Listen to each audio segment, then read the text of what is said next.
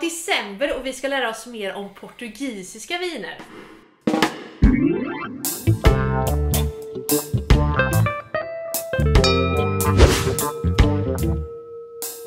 Ny månad och nu är det inte bara ett vindistrikt utan ett helt land, för så tuffa är vi. Ja, och Portugal känns som ett svart hål för mig. Jag har liksom ingen koll på portugisiska viner. Men Anna, ingen har det. Eh, Men idag så ska vi bli lite bättre tillsammans. Det blir Och det känns kul för det känns som att portugisiska viner kommer, det, det känns lite på modet. Och det är många av er som har skrivit frågor om just portugisiska viner, vilket vi tycker är jätteroligt. Då Så blir vi inspirerade och glada. fortsätt gärna skriv om det. Eller skriv frågor och så. Mm. Börja med att säga så här, glöm alla druvor ni kan. Eh, De finns inte här. Det finns 350 inhemska druvor som vi kan ju hoppas på att lära oss någon gång. Ja. Eh, Tempranillo, som är Spaniens största röda druva, är ju stor här också, Mm. men under andra namn. Till exempel Tintaroris. Det. Annars så finns det druvor som Toriga Nacional, Toriga Franca, Castillao för röda, Alvarinho för vita och så finns det starkviner och sådär. Mm. Men det här är ganska nyligen som man kom på, liksom, eller man började forska i vilka druvor det faktiskt var. Mm. Klassiskt så är det, var det bara många druvor som växte i samma vingård och man skördade alltihopa tillsammans och gjorde blends. Mm. Eh, och det kallas för field blends. Och det är många som jobbar så fortfarande idag faktiskt. Mm. Eh, Men några kända distrikt, några av de kändaste i Portugal är Vinho Verde, vi har Douro, Dao.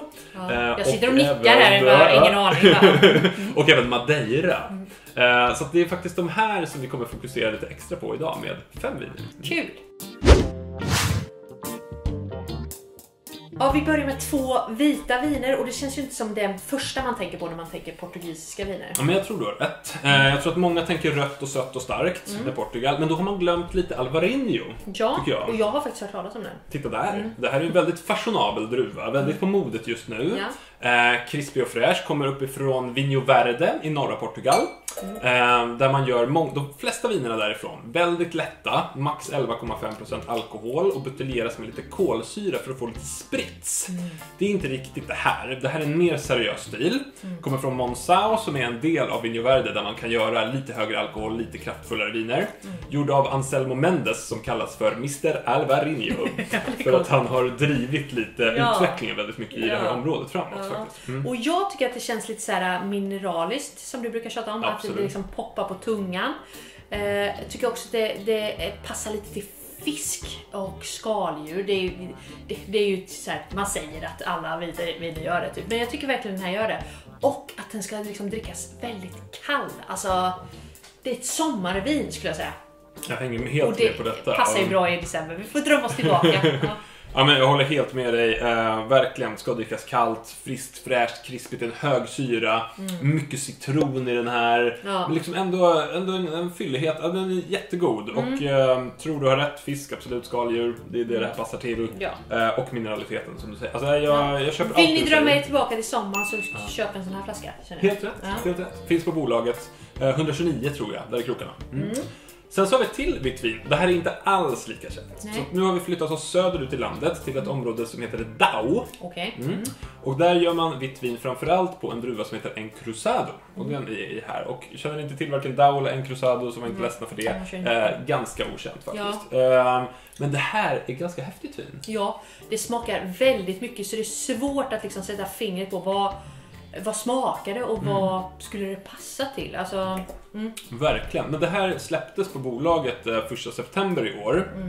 119 spänn. Och jag vet att jag provade det då och tyckte det var väldigt ballt. Så vi vill ja, ha med det det. Eh, och det är precis som du säger, mycket smak. Mm. Eh, kan du liksom isolera någon här? För jag får liksom dels lite så här, ganska mycket ananas i den här tycker jag. Det är så tropisk frukt. Mm. Ja. Och sen också lite så röd frukt. Det är lite udda för att det är ett vitt vin, men alltså typ så röda äpplen eller ja, persika absolut. Eller nästan lite röda bär. Ja, Alltså så finns det där. Och det är druvan som är sån. Det är superhäftigt. Mm.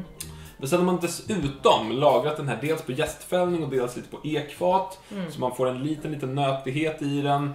Eh, och även lite så här mer fetare stil på. Så det, är ett, det är väldigt mycket vin för 119 kronor. Det är lite, ja precis, det passar lite till efter Mm. julen, eller till julen. Alltså jag tror också så här nyårsafton, Ja, ja, ja. alltså till skaldjuren, liksom båda exakt. de här två, varför inte? Kör på det liksom. Ja. Fortsätter vi med rött till min stora glädje. Ja, från ett av världens vackraste vinområden. Har jag hört. Jag har aldrig varit i Douro själv. Nej, vi men måste åka dit. sett bilder. Ska vackert. Ja, det får vi göra. Eh, floden Duero i Spanien byter namn till Douro när den flyter, flyter in i Portugal helt enkelt och kommer till den här dalen. Där är känt för eh, också portviner, ska vi prata om strax, men också såna här röda blends. Och precis som vi pratade om tidigare så är ju de röda vinerna i Portugal ofta blandningar på flera olika druvor. Det.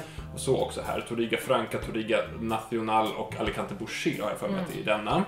Eh, och det ger ju ett kraftfullt Verkligen, det var väldigt kraftfullt och eh, jag, visst är det så här att eh, gillar man kraftfulla viner så är Portugal rätt bra att titta på för man kan hitta lite fynd. Absolut är det så. Ehm, verkligen. Alltså det här är en toppproducent i Portugal, Valle de Maria. Det här är superbra vin. Eh, finns i beställningssortimentet för 129 kronor. Och det är Det är jättegott. jättebra. Alltså det är Ja. verkligen smak som sitter kvar länge. Mm. Eh, så gillar du mustiga, kraftfulla rödviner och inte har provat Portugal och vill testa något nytt, Mm. då har du det klart. Liksom. Mm, verkligen. Vad skulle du säga att det här passar till för mat?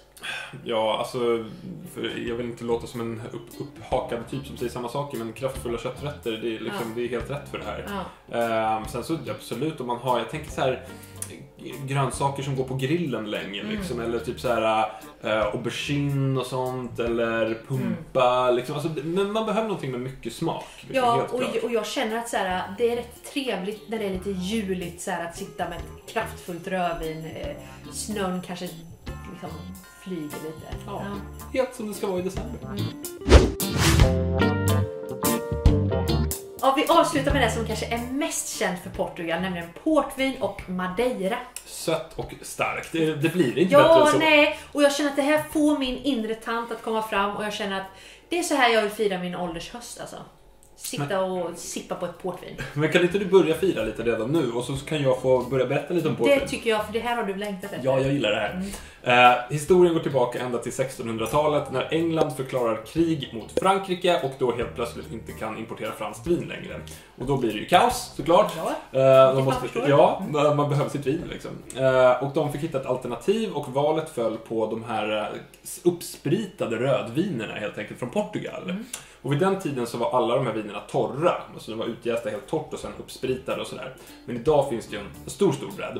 Men det här blev en sån otroligt viktig handelsvara för Portugal, så att i mitten på 1700-talet redan så gick det ut ett så här kungligt dekret om att man skulle avgränsa området där portvin fick göras. Just Och det. det blev alltså den första appellationen kan man säga, eller det Ja. första avgränsade vinområdet i världen, redan på mitten av 1700-talet. Ja, kul. Mm. Alltså, spännande med lite trivia. Ja, jag gillar när du går igång Ja. på det där. med- Men jag känner så här, vinet är ju eh, det, är ju det man vill ha i december. Det är liksom kraftfullt, det, det, till pralinbordet, Ja. alltså choklad, du vet så här, mustigt. Man vill ha den en så här julig, ruggig dag. Liksom. Ja, precis så. Precis så. Och vinet smakar ju av choklad Ja, liksom, verkligen. och Mm. nötighet och sådär. Eh, Det finns ju massa olika stilar på portvin. Det finns Mm. Ruby, det finns Tawny, eh, Vintage. Det här kallas för Late Bottled Vintage. Mm. Och så man gör det här är ju alltså att man, man har druvor, man jäser ett, ett rött vin precis som vanligt. Men sen så när det har jäst upp till ungefär 5-6% då tillsätter man druvsprit. Mm. Och då får det upp en till en alkohol på ungefär 20% och så dödar man ju då också, också av jästen. Mm. Och det innebär att allt socker som fanns kvar i vinet som inte hade hunnit jäsa om till alkohol finns ju kvar. Och därav blir det sött. Mm. Och Late Bottled Vintage, det är då druvor från samma år, här har vi 2018. Mm. Eh, och eh, då ska det sen lagras på ekfat i fyra år innan det sen buteljeras. Mm. Det här är buteljerat ofiltrerat, så egentligen så ska man dekantera den här kanske innan man eh, häller upp med vi lite tuffa så att vi, Mm, vi strutar det. det, men det får man vara i december. Ja, det, eller hur? Men så fantastiskt vin. Och jag, jag tycker att eh, efter att ha provat några olika Late Bottled Vintage, Mm. olika portviner, så måste jag säga att den här är ganska slank och inte supersöt för Nej. att vara en sån. Vilket gör, tycker jag, att eh, sticka ut hakan och säger att det här kanske inte bara passar egentligen till liksom, choklad och starka ostar, utan det. är man en sån person som verkligen gillar kraftfulla rödviner, mustiga med lite sötma, Då kan du vara ännu tuffare än oss och Kanske dricka det här det till lite älgfärsbiffar liksom, oj, med gräddsås, liksom, Ja. med lite portvinsgelé. Liksom. Alltså, Oj, oj, oj. det kan funka. Ja, kul! Okej, vi fortsätter med Madeira. Och det här tycker jag är väldigt kul för jag vill lära mig mer om Madeira. För mig är det bara en cool ö liksom. Men det är en cool ö. Ja. En cool vulkanö. Ja. 100 mil sydväst om Lissabon därifrån ut i Atlanten. Man vill åka dit. Alltså jag har sett bilder, jag har läst reportage, jag tror att det är ett fantastiskt resmål. Mm. Så att dit vill jag. Ja. Och jag tycker även att det här är, jag säger det själv, det här är den ballaste vinstilen i Portugal. Jag tycker detta är så coolt. Ja, verkligen. Eh, Det här görs på samma sätt som portvin, alltså att man spritar upp med druvsprit. Man gör på fyra olika druvor. Det här är den torraste varianten. Eh, Då är det druvan Cercial man använder. Lite sötare varianten gör man på Verdejo, lite sötare ändå Boal och sötaste madeirorna görs på Malmsey, eller Mal- Malvoisie. Eh, Och efter då den här processen, när vinet är färdigt, man har spritat upp det, då går det här igenom en process som heter, ursäkta uttalet, estufagen. Okej. Och det innebär att vinerna hettas upp under lång tid. Mhm. Förr i tiden så skedde det här naturligt för att man fraktade de här, det här alltså ön ligger mitt ute i havet. Ja. De fraktades på skepp i solgasset i tunnor och blev upphettade. Mm. Och det som händer då är att sockret som är kvar i vinerna, det karamelliseras helt enkelt. Mm. Vilket gör att de här vinerna får en liten bränd smak, Ja. men blir extremt lagringsdugliga. Alltså de här Ja. kan lagras i hundratals år nästan. Även Ja. en öppnad flaska kan lagras i ett år utan problem. Men det är väldigt häftigt. Superhäftigt. Och jag, jag tycker att det här är ett väldigt bra julvin måste jag säga. För det, det är lite sådär apelsintoner. Det känns som sån där, eh, man plockar i nejlikor i apelsinen. Eh, kanske man sitter och dricker detta. Det är julen på flaska Ja, liksom. och sen så här nötter och du vet det, här, det nötbordet som finns vid julbordet. Alltså, eh, smakar väldigt mycket det och det känns som att man kan göra rätt coola matkombinationer med det här. Liksom. Helt klart. Alltså go-to med de här, det här är då den torraste varianten av Madeira vi har, Cercial, eh, fem år gammal. Då är det ändå 50 gram socker per liter, men det är en skarp syra så att den, den upplevs ganska torr. Eh, och jag tänker framförallt typ svampsoppa, så kantarellsoppa eller så. Även typ så fransk löksoppa eh, kan vara en grym kombo här tror jag. Eller bara typ så här, lägga i en isbit, ha det som aperitif. Till, ja, till lite nötter liksom, eller liknande. Det är superhäftiga viner och det här är bara, jag tror att det ligger 119 kronor där i krokarna, finns på hyllan på Systembolaget. Ja, men testa. Verkligen värt att prova. Ja. Ja, och eh, då lämnar ju vi Portugal och eh, kommer att åka vidare till nästa resmål. Eh, och det får ni gärna vara med och gissa på på Instagram. ja, på onsdagar kommer poliset, så var med och gissa. Mm. Så vi ses då och ha det så himla bra. Vi ses 2024.